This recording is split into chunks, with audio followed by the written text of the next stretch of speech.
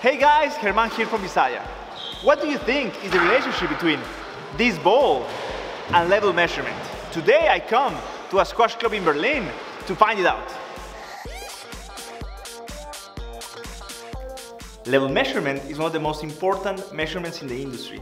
The technologies used to perform this measurement have evolved from throwing rocks and dipsticks to modern instruments. Ultrasonic and radar technologies are the standard for reliable level measurements in tanks for solids and liquids. These technologies use mechanical and electromagnetic waves to determine the distance between the sensor and the products. They work using measuring principles called time of flight or TOF. I will be using the squash ball to explain this principle. The ball represents the emitting wave that is shot against a fluid or a solid, represented by the wall. If you know the speed of the ball, you can calculate the time it takes for the ball to hit the wall and come back. Thus, you can calculate the distance or level of a product at any given time. Ultrasonic level transmitters use piezoelectric sensors that emit acoustic waves that travel at the speed of sound. This has been an affordable solution for level measurement for a long time, but the signal can be affected by the temperature and pressure in the vessel.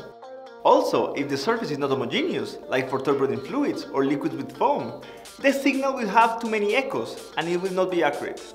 On the contrary, radar technology uses electromagnetic waves that travel at the speed of light. These waves are not affected by the pressure conditions, turbulence or foam, just like I'm trying to represent here with the squash ball. What a nice rally. For this reason, radar is one of the preferred technologies for level measurement. Well, of course, it has its drawbacks. First of all, it's a little bit pricier than other technologies. And second, it doesn't work well with fluids with low dielectric constants.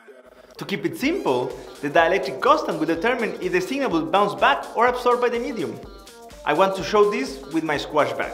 You can see that when the ball hits the wall, it bounces back.